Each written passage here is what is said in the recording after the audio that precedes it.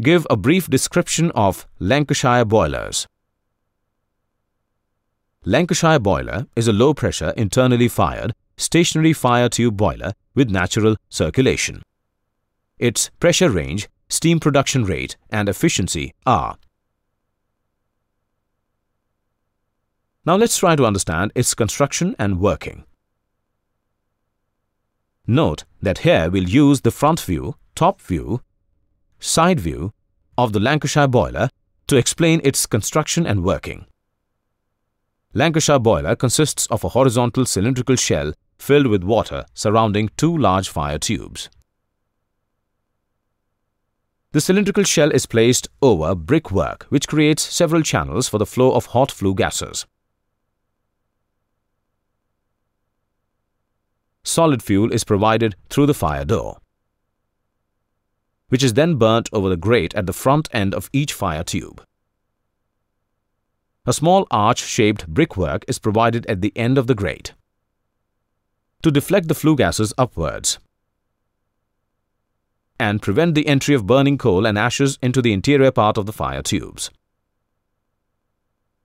The fire tubes are slightly conical towards its rear end to increase the velocity of hot flue gases. Then hot flue gases are allowed to pass through the downward channel towards the front end of the fire tubes. Now these gases pass through the side channel towards the rear end of the fire tubes and finally escape through the chimney. There are dampers at the end of each side channel to regulate the airflow. Feed check valve is used to feed water uniformly to the boiler shell. Once the boiler is heated adequately, water converts into steam by absorbing the heat from the flue gases.